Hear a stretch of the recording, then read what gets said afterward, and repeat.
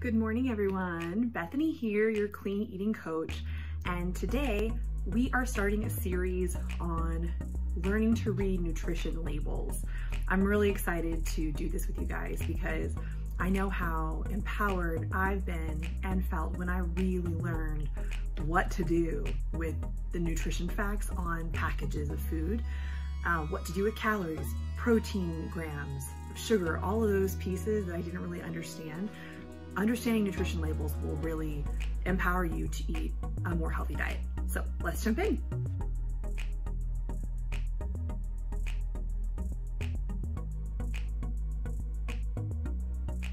We'll just go from top to bottom, okay? So this is actually a pack of granola cereal. So where you start here at the top is your serving size. And this is a really big one because uh, I've got a drink here, coconut water. Have you ever picked up a, a Coca-Cola or a juice or something that even may have been relatively healthy and you went on the back and said, oh, it's only 60 calories. That's really good, okay? But what you really need to focus on first is how many servings are in this container.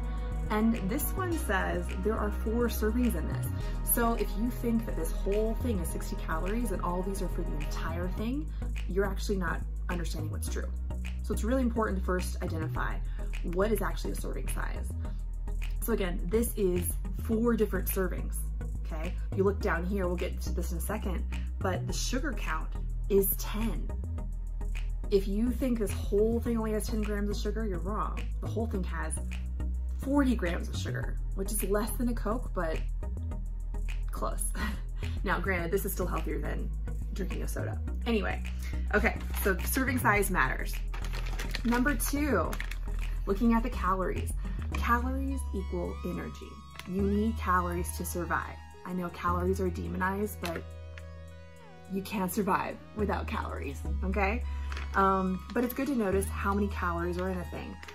So this is a, an example I honestly hate to share, but when you go into a restaurant, uh, a lot of times menus will, I'm glad now, they include the calorie amount of the items you're buying. So like in the dessert menu, I like to look at dessert menu because there's so many yummy ones. And I was looking at uh, a cheesecake dessert once or um, maybe like a chocolate chip cookie, um, Pizookie or something. And pretty sure the calorie count was a thousand or more and I looked at my husband and said, if we're gonna get this, we have to share it because this is insane. So one thing to remember is that um, on uh, nutrition facts, they're, they're predicting all of these percentages based on the average calorie intake per day, which is 2000. Um, for me, based on my gender, weight, activity level, I usually need about 15 to 1700 calories a day. And if I'm more active that day, of course, I need more calories in order to give me the energy I need. Um, but think about it, if you eat one dessert with a thousand calories, you've technically eaten half the calories your body is supposed to take in for the whole day. And let me tell you, that dessert is not gonna be enough for you for half the day. Keep that in mind.